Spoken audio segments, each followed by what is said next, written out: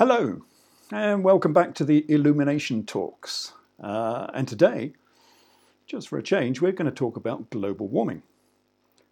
Uh, why global warming, you ask?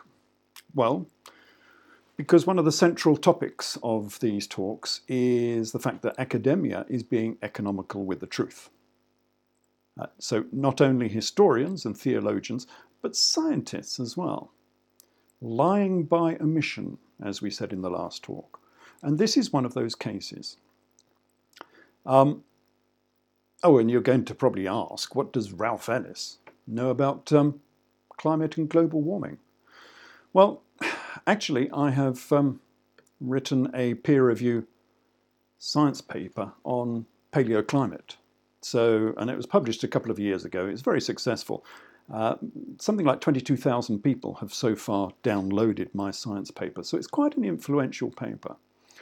So I'm officially a climate scientist. Uh, but as usual, I'm a, a, bit of a heretic because I don't believe that uh, CO2 is the major feedback agent warming the atmosphere. Uh, but we'll go into that in more detail later. We're not going to talk about that paper at uh, present. Um, just for now, we're going to look at the basics of climate as we see it, the climate that we see in the media, in the newspapers, on the television, on dear old CNN, or the BBC for that matter, because they are just as bad. Um, so, climate science. Science is about truth and honesty, giving the people the people out there, because this is from the media, the facts about the world around us.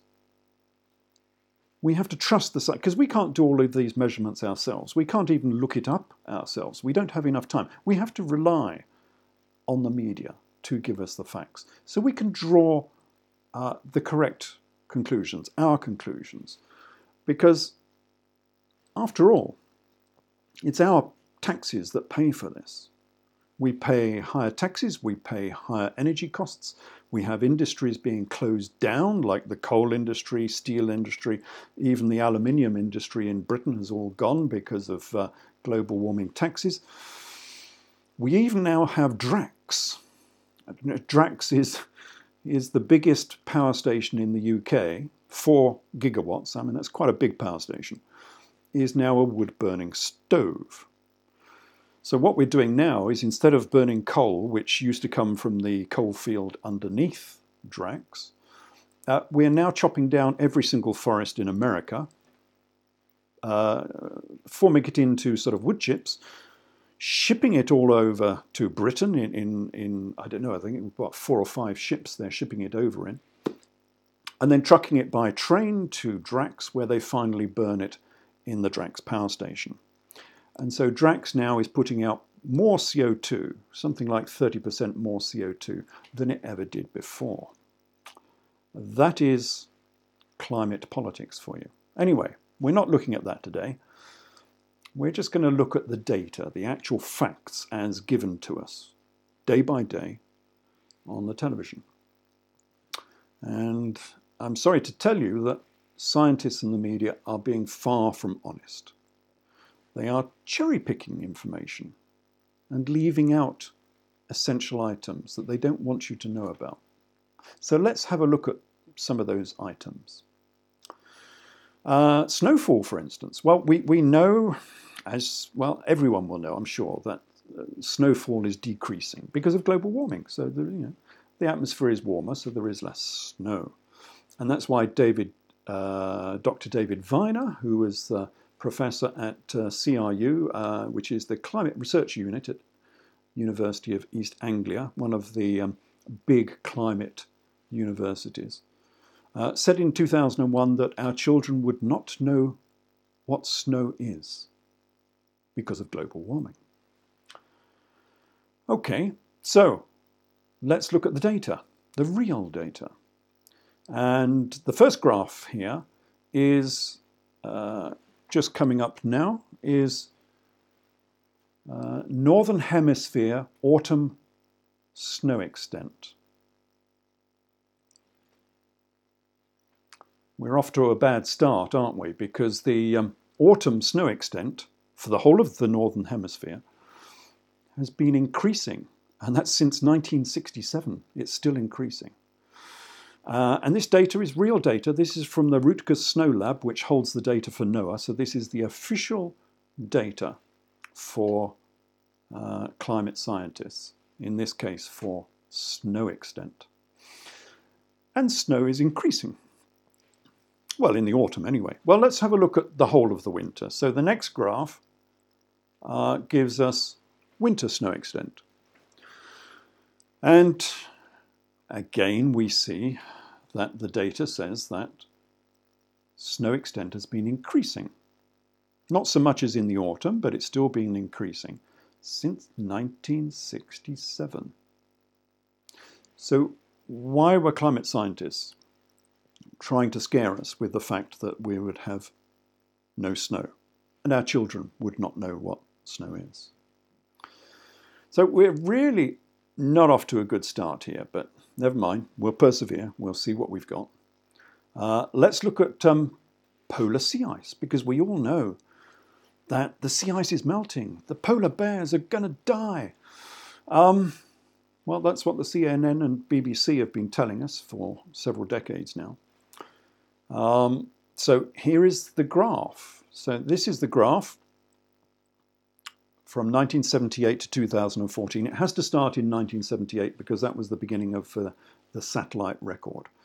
And as you see, sea ice is increasing. Interesting. Do you see what I've done there? Yeah, if you read it, this is Antarctic sea ice, not Arctic sea ice. Okay, so in the Arctic it might be decreasing, but why didn't they tell you that in the Antarctic sea ice has been growing? This is the graph up until 2014. Okay, well, I don't want to cherry pick myself, so let me give you the full facts. So the next graph is both poles coming right up to date. So the next graph, here we go. Um, in the blue, in the blue corner, as it were, we have the data they want to give you, which is Arctic sea ice, and as you can see, that has been reducing. But the inconvenient truth that they don't want to tell you is the red graph. And as you can see, that's been rising since 1978. Okay, it's fallen in 2016 and it fell quite substantially, but is rising again. But if you look at the trend line, the trend line is still increasing for Antarctic sea ice. So we'll see what happens to this sea ice in future years. But what they did not tell you is that Antarctic ice has been increasing. Okay, what else can we look at? Well, uh, I know. Uh, let's go and have a look at uh, tornadoes, because that's always a good subject, isn't it? We have those on the television all the time, and we see all these dramatic videos of towns being destroyed, shopping centres destroyed, even you know running through the centre of a city and destroying the whole of the centre of a city. I mean, it's a problem that's obviously getting much worse. Um, and it's all down to global warming. Uh, and we know that because they've told us. Climate scientists have told us. The media has told us. Reporters have told us. They're continually saying this is due to global warming. And we're getting all of these terrible, terrible uh, tornadoes that are getting worse and worse year by year. So uh, here is the graph of tornadoes. And as you see, just as they said, since 1954, tornado numbers have been decreasing. Hmm, interesting.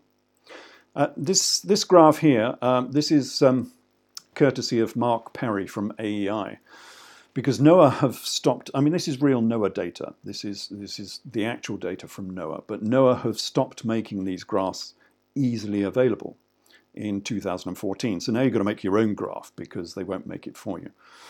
Um, and this is for strong tornadoes. So this is F3 to F5. And as you can see, since 1954, the number of tornadoes, strong tornadoes, has been decreasing. And as you see this little arrow in the right hand corner there, uh, this is 2018, the lowest ever on record. Hmm. Not quite the information they've been giving us, is it? Not quite the information. In effect, we're being deceived. And we're being deceived doubly because let's look at the correlation between tornadoes and global warming because that's the inference they've made that there is a, a correlation that it is warming that is causing more tornadoes. So let's look at the um, next graph, which has the temperatures superimposed on it. So uh, the, the, top graph is, is temperatures. Uh, this is US average temperature. Um, during the tornado season, of course. And this is the tornado graph underneath it. Is that a correlation? Or is that an inverse correlation? Clearly, you can see from these two graphs that strong tornadoes are not being generated by rising temperatures. So the science as it's being given to us is wrong. Wrong, wrong, wrong again. And anyone who says that global warming is causing more tornadoes is a liar. And if they're looking for more money, i.e., politicians, if they want to pick your pockets, they are committing fraud because they're getting money on the basis of a lie. Well, okay, so we've had no luck with snow and no luck with tornadoes, but we all know that the number of cyclones, tropical cyclones, hurricanes, and um, and typhoons are definitely increasing. Again, we know this because it's been on our news for decades now. All of these terrible cyclones running through the Caribbean, running through America, causing all of this devastation. And it's getting worse. It's getting worse. We know it is because they tell us so. Ah. Okay. Well, here's the graph by um, Dr. Ryan Mell, who is uh, the specialist in tropical cyclones. And um, yes, okay. Hmm.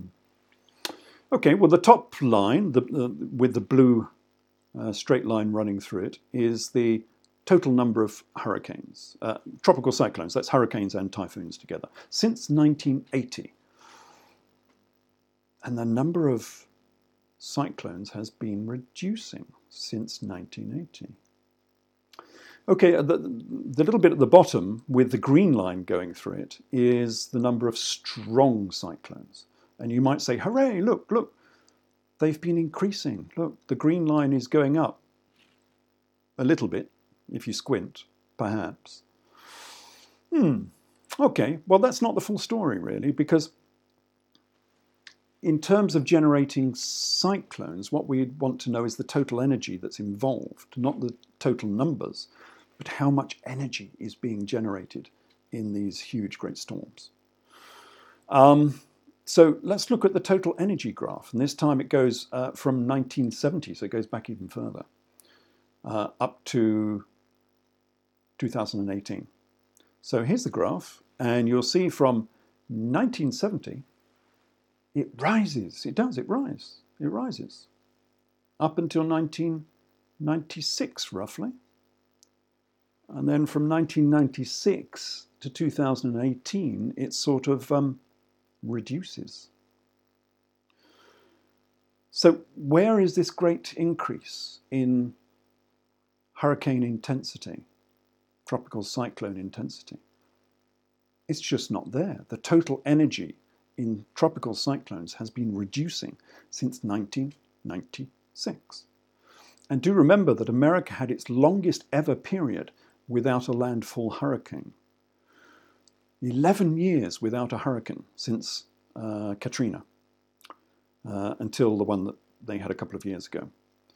And, and you mention this to people, and they say, no, no, no, it's not true. it's true. America had its longest ever period without a, a landfall hurricane for 11 years after Hurricane Katrina. That is the truth. So, you can see in, in the many cases I've just presented to you in a very, very short amount of time, uh, all of the data that you've been given in the media has been cherry picked. And it's been done so to deliberately promote a global warming agenda. And that's not science, that's political activism. That's picking your pocket of your taxation money or your energy money because all of your energy now costs more. Um, and you could have been given the, th- the truth, of course, very quickly. Uh, we've done it in 10, 15 minutes. Why didn't the CNN and the BBC do it in 10 or 15 minutes? They could have done this years ago, but they didn't. They like to keep you in the dark. Had enough of this? Well, there's just one more thing that I must share with you, and that's Michael Mann's famous hockey stick. This is the temperature graph that started all of this many, many years ago. And you only have to look at this graph and, and think of tangled webs being weaved. I mean, look at it. it it's, it's, virtually constant, and then suddenly it zooms up in the 20th century into the 21st century. Is that real? Well, no, it's not really. And of course, before we go on to this graph, what they will not tell you is that the Holocene maximum, which was 9,000 years ago, was much warmer than now. It's two degrees warmer than it is now. And that's only 9,000 years ago. That's not a long time in terms of climatic history. But that's another story. We're not going to go into that today. We're going to look at this hockey stick graph. And what this graph is, is a reconstruction of past temperatures all the way from 81,000 uh, up to the modern time using tree rings as a temperature proxy. So they measure the tree rings, and by the width of the tree rings, they get a proxy for temperature, and then they can display this temperature on the graph. But there was a problem because when they made this graph, when it got to the end of the 20th century, it actually showed cooling. That was the decline that they tried to hide. We'll have a look at that in a minute.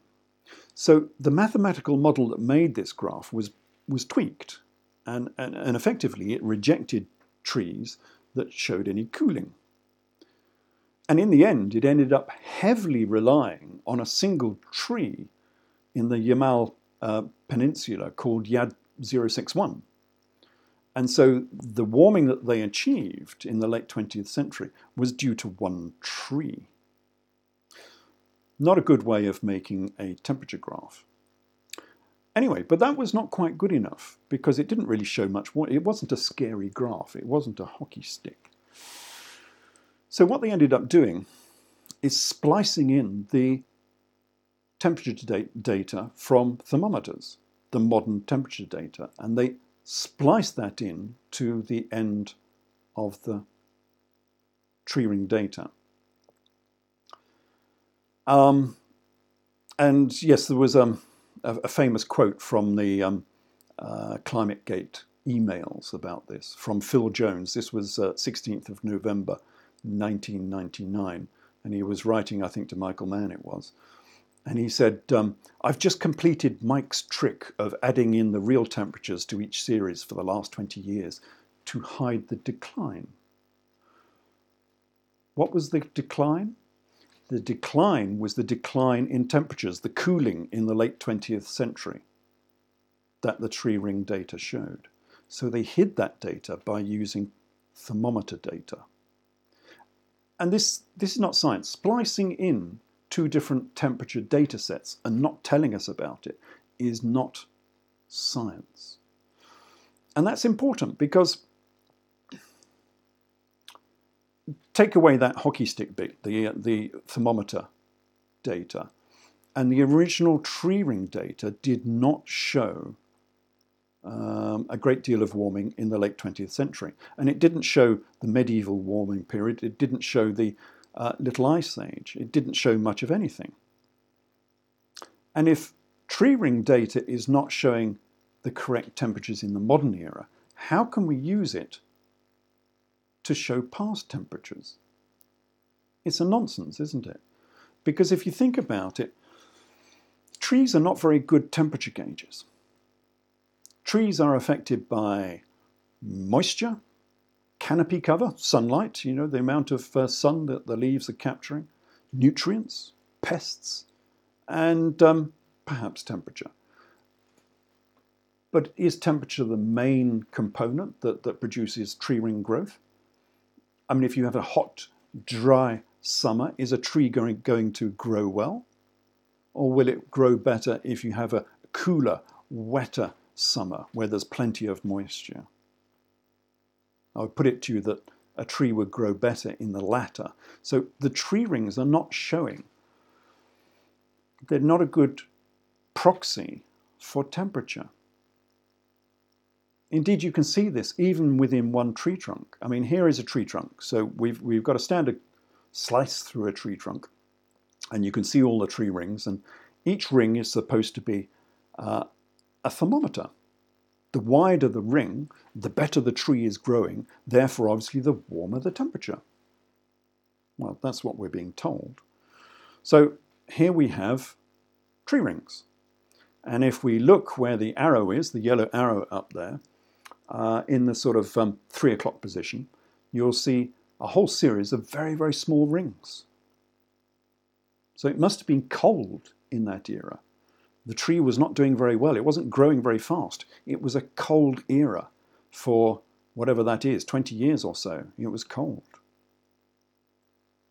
But if we look at that same tree trunk and now look at the 12 o'clock position where the blue arrow is, we shall see that those same tree rings are now much larger. So was it cold or was it warm? It depends where you take your bore. Uh, what they do is they, they have a core and they'll, they'll core through the center of the tree. Um, and the core isn't very wide, you know, it's only about uh, just over a centimeter wide. So if they took a core from the 3 o'clock position, they'd say it's cold. But if they took a core from the 12 o'clock position, they would say it's warm. Tree rings do not show temperature very well. They show many other things, and if anything, they probably show moisture more than they do temperature. So the whole of the hockey stick graph is a complete nonsense. And in fact, it was withdrawn from the IPCC um, because complaints were made about its uh, data collection, its procedures, the mathematical models that actually underpinned it were all challenged. And basically, the IPCC has dropped it. So they, the, the main graph to start the global warming uh, scare stories by Al Gore has effectively been dropped. It's no longer used. So the whole of the global warming uh, enterprise is, is based on a lie, a graph that is no longer used. So, this is the state of climate science. And I have to say, of course, you know, we've been going through this with, with other fields, with historians and theologians, and we're seeing a trend here that we can't necessarily rely on academia to give us the full and whole truth. Now, I can't state categorically that CO2 does not warm the atmosphere. It might do although my peer review science paper comes very close to proving that it doesn't. But that's another story. However, cherry picking the facts and the data is not the way to prove a, a point in science. This is not science, this is political activism, and we should treat it as such. Ignore it, basically. Academia is lying to us by omission, as you've seen in the past videos. And that's why you must view these videos, just to get the other side of the story. It's interesting, isn't it, that you have to come to videos by myself to get the historical, theological, and science truth.